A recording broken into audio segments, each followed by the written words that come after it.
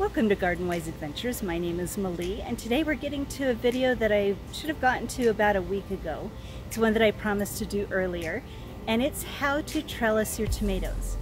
Now there are many many different ways to trellis tomatoes. I in the past have looked at my tomatoes and thought about trellising them and just let them sprawl on the ground and still got decent harvests. The only problem with letting them sprawl on the ground was that they did get eaten by bugs quite a bit and they got sunburned. So um, I'm going to try one method that I've learned and that's taking a tomato plant. Now I'll show you how we're going to do this. We're going to pull off all of the side shoots and let one stem go straight up and tie it to a post.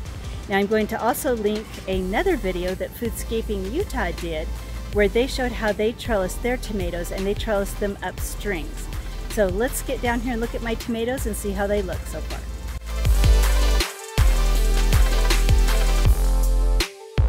Here we have the tomato patch that I have up at the top of my hill. And I did also want to give you an update. The front tomatoes, there's one, two, three, these four tomatoes stayed in my house till about Mother's Day under lights and then were planted. This one back here, this one that had the lower leaves burned but is still doing really well, and this one over here were put outside under walls of water. And there's a clear difference. Um, we actually have little tomatoes starting on this one right here. So I think the walls of water did actually make a big difference. So anyway, let's look at how we're going to trellis these tomatoes. So here's this little tomato plant. It is starting to flower. And if you'll look, kind of hard to see because of the leaves, but there's one main stem that is getting taller.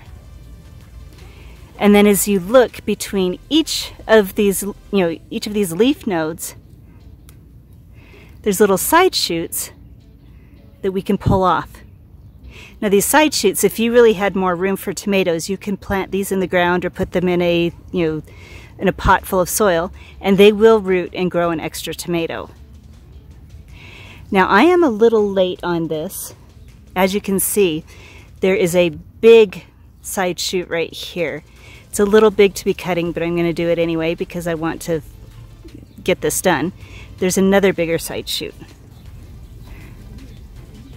So what I'm going to do is cut this one off here, cut this one off here. Take those away. There's another side shoot down here, one here, one here.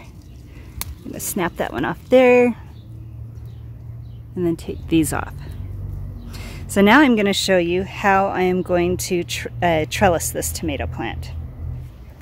Okay, so to trellis this tomato plant, I am going to take my green garden tape and just basically tie it to the pole. Let's show you how that'll look. So I pulled off a section of tape. I am going to wrap it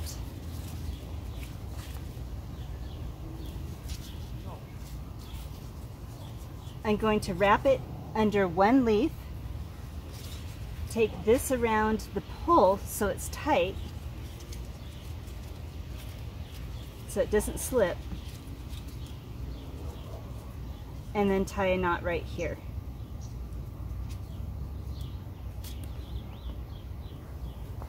Let's get you up closer to see what that looks like. So as you can see, it's tied loosely around the plant and then tighter around the pole. And as this tomato plant grows bigger, I will just tie it up the continued length of the pole. So let's get the other tomato plants done and see what it looks like in the end.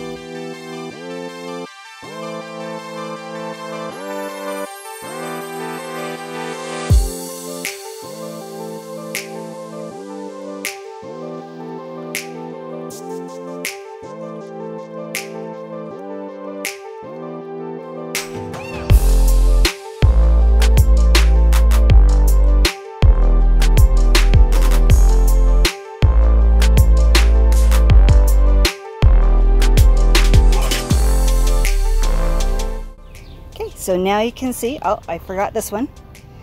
Got to do this one next. But we have each of these tomato plants tied up. Now that I'm actually done with that, it was a shorter video, let me give you a quick tour of the rest of the garden. First thing I'm going to show you is my potatoes. Now, I just watered these they got a little smashed, but they're getting really tall. They're looking pretty good. This is how big lovage actually gets. It's huge. My other potatoes. I'm really excited to see how well they do. This is the first year I've grown potatoes and I'm growing them in my compost bins. Now we did have a ground cherry here that looked like it was going to start producing fruit, but this area doesn't seem to get the water it needs, so we'll see if it actually even survives. I just watered it and it's still looking pretty bad. Let's look at my cabbages. This one's actually this one's actually getting a good size head. The other ones are heading up really well. Had to take the broccoli out because it was done. And I've been regularly harvesting the kale. It's really been good.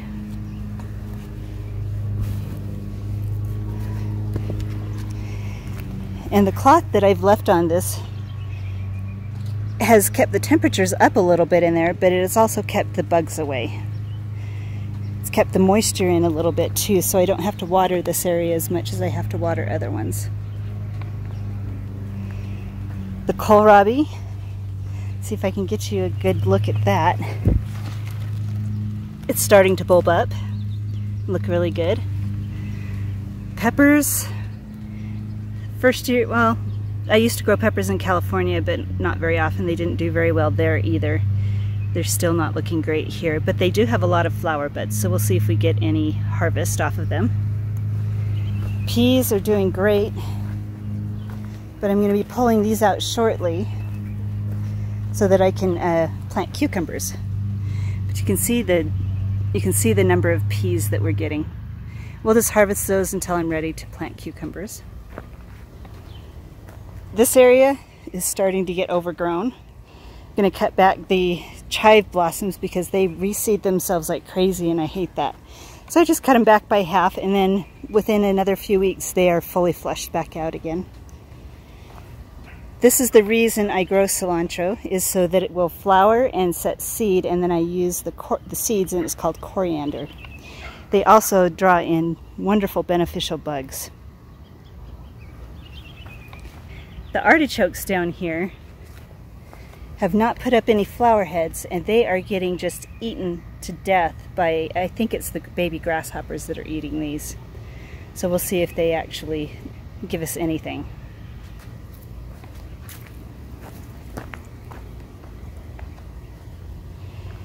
These peppers have really been hit hard. I think these are, um, the problem we're having here is earwigs. They've been eating them like crazy. I've actually resorted to spraying these with Sevin because nothing has helped. The onions are starting to get big. We have lettuce everywhere. It's looking great. And because of this cool spring, they have not bolted yet.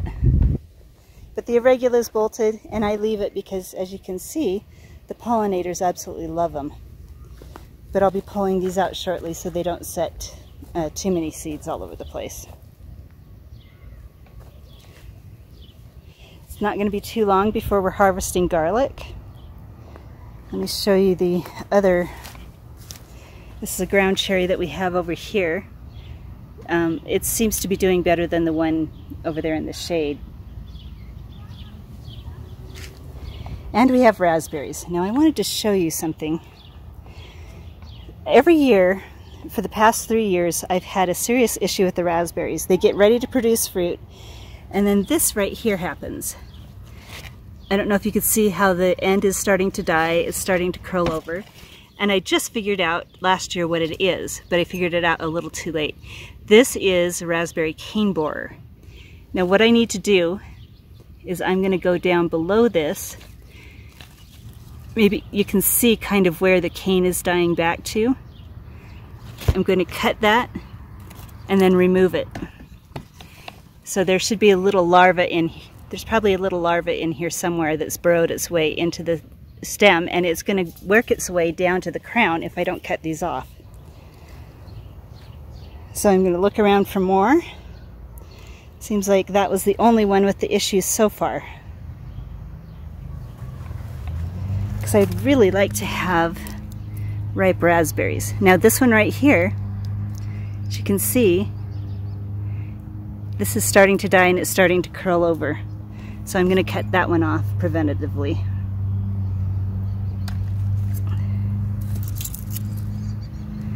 We'll remove those as garden debris and throw them away. But definitely they're looking a lot better than they have in the past. And we're getting some raspberries that are starting to ripen. It's making me excited.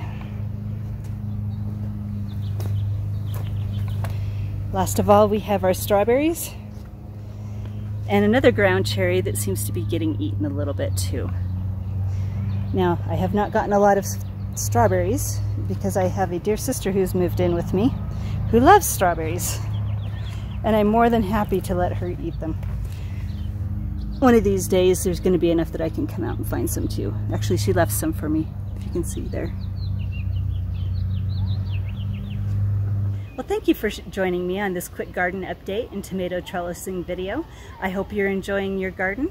Challenge you to go out there and look at your tomatoes and find a good way to trellis it and then let me now know down below which method you're using. And go have a wonderful garden adventure.